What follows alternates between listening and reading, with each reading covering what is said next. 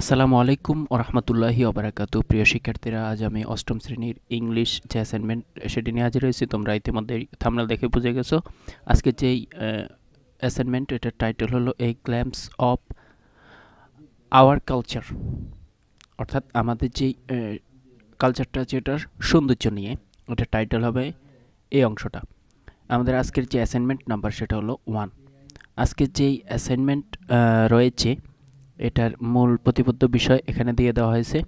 দেখো, আমাদেরকে প্রশ্ন করা হয়েছে suppose you have a foreign friend who is very serious to know about the ethnic people of your country অর্থাৎ আমার, ধরো আমার একটা বন্ধু আছে বা তোমার একটা বন্ধু আছে যে কিনা বিদেশি বন্ধু, সে তোমার যেই উপজাতি আছে, তোমার দেশের উপজাতি আছে, তাদের নিয়ে সে খুব জানতে ইচ্ছে করতেছে।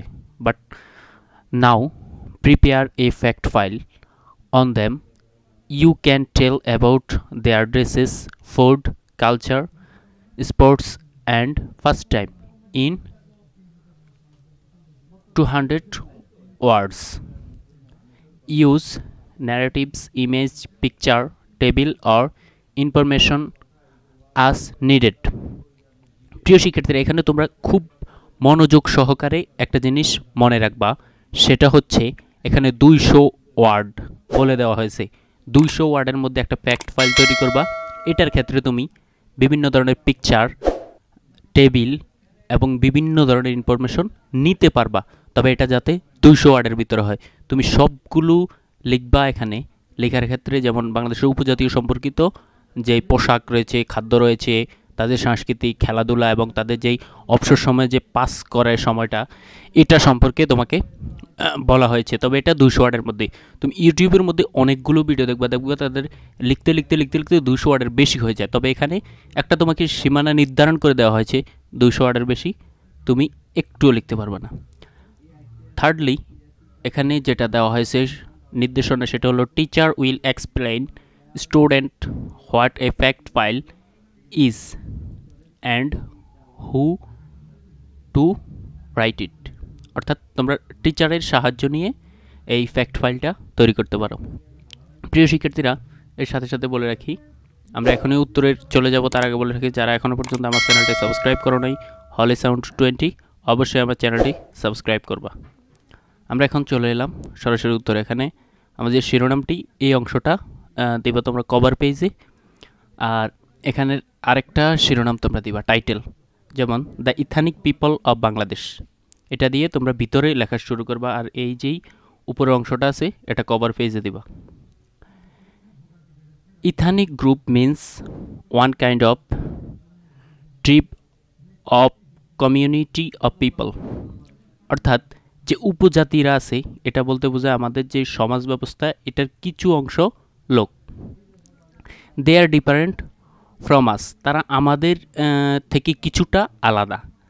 আমাদের যে সাধারণ বাঙালিরা আছি, তাদের থেকে কিছুটা আলাদা ethnic people their religion is different from ours তাদের যে ধর্মটা আছে, এটাও আমাদের থেকে কিছুটা আলাদা। They are a very important part of the culture of our country অর্থাৎ তারা আমাদের জন্য খুবই গুরুত্বপূর্ণ। কিসের ক্ষেত্রে? আমাদের সংস্কৃতি এবং আমাদের যে দেশের সংস্কৃতিটা আছে, এটার যে ক্ষেত্রে আমাদের কাছে খুবই গুরুত্বপূর্ণ। তারপর আছে they have different culture and tradition তাদের রয়েছে ভিন্ন ভিন্ন ঐতিহ্য এবং তাদের সংস্কৃতি। তাদের they have different culture and tradition তারপর আছে এখানে their jewellery cooking and eating habit are different from ours তাদের যে জুয়েলারি তাদের যে গহনা কুকিং রান্না অ্যান্ড ইটিং তাদের যে খাওয়াটা আছে, এটা আমাদের থেকে কিছুটা আলাদা। Several ethnic group lives in Bangladesh বিভিন্ন ধরনের উপজাতীয় লোক আমাদের দেশে বসবাস করে, অর্থাৎ আমাদের বাংলাদেশে বসবাস করে। Among the ethnic people the most well known are the Chakmas the Marmas the Tripuras, the Hajongs, the Manipuris, and the Santals. অর্থাৎ যেই ইথানিক পিপল বা উপজাতিগুলো থাকে, তাদের মধ্যে চাকমা, মারমা, ত্রিপুরা, হাজং, মণিপুরা, অ্যান্ড সাঁওতাল অন্যতম। The majority of those people live in the Chattogram hill tracts বা Chittagong hill ট্রেস্ট এদের মধ্যে যেই উপজাতিগুলো আছে, তাদের মেজরিটি মানে অনেক উপজাতিরাই কোথায়? চট্টগ্রাম হিল টেস্টে বসবাস করে।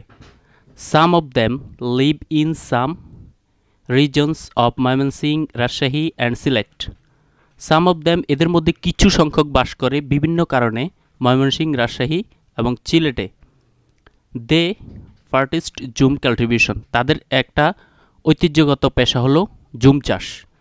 যে উপজাতিরা আছে তারা জুম চাষ করে। বাই রিলিজিয়ন তাদের যে ধর্মটা আছে দে আর হিন্দুস তাদের মধ্যে উপজাতিদের মধ্যে কিছু অংশ আছে হিন্দু, খ্রিস্টানস, খ্রিস্টান অর বুদ্ধিস্টিক, অর্থাৎ বৌদ্ধ। অর্থাৎ তাদের যে ধর্মটা আছে, এটার মধ্যে কেউ আছে হিন্দু, কেউ আছে খ্রিস্টান, কেউ আছে বৌদ্ধ।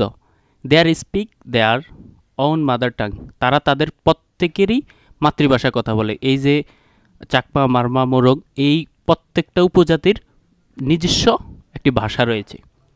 They have their own lifestyle তারা তাদের নিজস্ব জীবনধারায় বসবাস করে। দে বিল্ড দেয়ার হাউস তারা তাদের বাড়ি তৈরি করে। অন ব্যাম্বোস বাঁশ দিয়ে অর উডেন প্ল্যাটফর্ম অর্থাৎ কাঠের প্ল্যাটফর্মের উপরে বাঁশ দিয়ে তাদের বাড়ি তৈরি করে। Rice is their sample food ভাতটা হলো তাদের যেই সাধারণ খাবার। ভাত তারা সাধারণভাবে খায়। Man oil lungi. যারা পুরুষরা আছে, পুরুষরা লুঙ্গি পরে।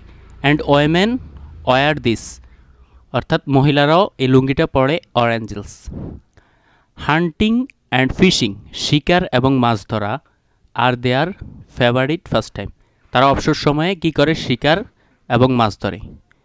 They are fond of songs music dances fair তাদের রয়েছে কি? গান করা, তারপরে বিভিন্ন মিউজিক, ডান্স, নাচ এবং মেলা।